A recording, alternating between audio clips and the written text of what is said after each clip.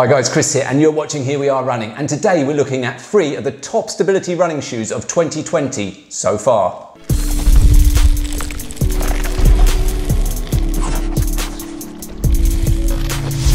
Now I'm filming this in May and these are the current models of each shoe at this point in time, but do expect updated models to be released as the year progresses. And the three models that we are comparing today are the ASICS Gel Kayano 26, the Brooks Adrenaline GTS 20 and the Hoka One One Arahi 4. Now, if you're a regular on the channel, you'll know that I've reviewed all of these shoes before. So if you're interested in a specific one, do go and check out my full review of the shoe you're interested in. But if you're new around here, then why not hit that subscribe button right now so that you stay up to date with all my future running videos. Okay, let's start by looking at stability and how that's being provided in each of these shoes. The first thing to say is that they all have a different approach to providing stability. The Kayano 26 provides stability in a very traditional way through medial support and it's also got this uh, Trusstic system here. Whereas the GTS 20 has guide rails. You can see them at the side here and here and these are a bit like bumpers at a bowling alley. If you need them, they'll keep your foot aligned, but if you don't, it doesn't interfere with your running style. And the Arahi 4 uses firmer midsole foam in the shape of a J to keep your foot stable on landing. Let's just do a little twist test on each of the shoes. So with the Kayano 26, it's very rigid. There's not a lot of twist in that. You get much more twist and flexibility in the uh, Adrenaline GTS 20. And let's just try the Arahi 4. I'd say that's somewhere in the middle of the two. But in my experience, all provide support. But for someone who overpronates a lot, you'd probably want to opt for the Kayano. And if you just wanted something to support you when your legs were tired and maybe your running form is starting to dip, then maybe look at the Adrenaline with the guide rail system. That could probably be the perfect choice for you. Moving on to comfort.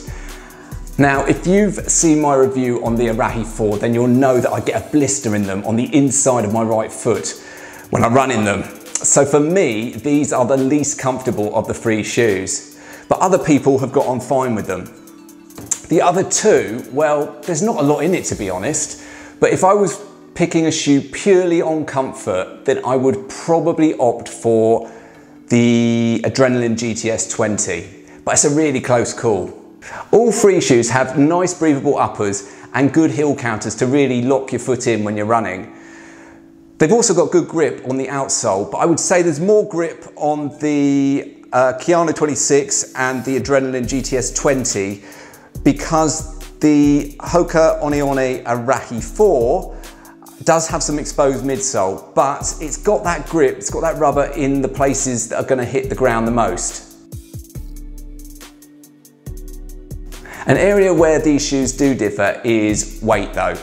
And I'll put the weights up on the screen now so that you can see this. And these are weighed by me and are for a UK size 11. As you can see, they do vary quite a bit. Interestingly though, both the Kayano and the Adrenaline GTS 20 weigh less than their respective predecessors.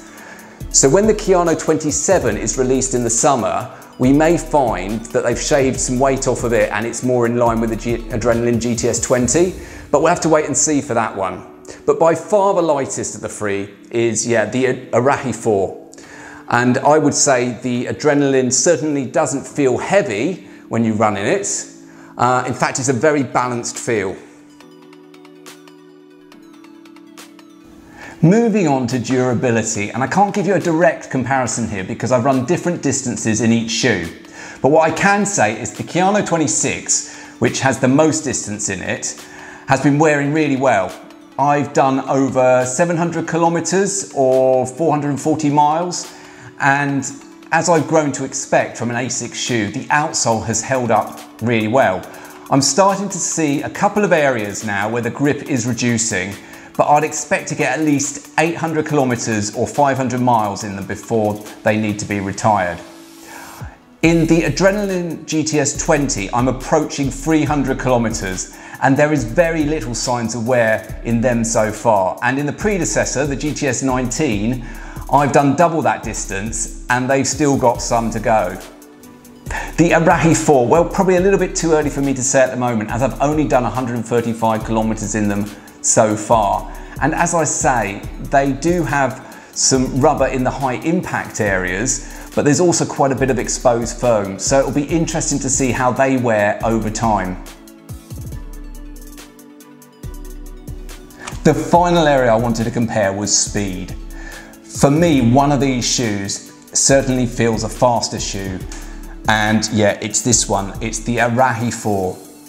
The lighter weight and the rocker design help to propel you forward when you pick up the speed. And if you want a shoe for the shorter, faster distances, this may suit you the best.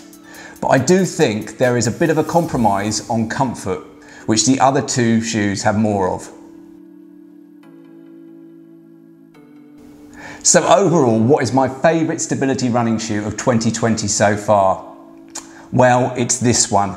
It's the Brooks Adrenaline GTS 20, and in my opinion, this is a great shoe. I used it a lot during my marathon training and had the marathon gone ahead, I would have worn this for the race itself. I also really do like the Kayano 26 uh, and I can't wait to get my hands on the 27 when that's released a little bit later in the summer. Uh, but if there's one stability running shoe that I had to recommend during the first half of 2020, it would be the Adrenaline GTS 20. So there you have it guys. Do let me know what your favourite stability running shoe is of 2020 so far. And I do hope you've enjoyed this video. And if you have, of course, please do hit that thumbs up button to give the video a like. And if you're new around here, well, why not consider subscribing for regular running content. But for now guys, goodbye.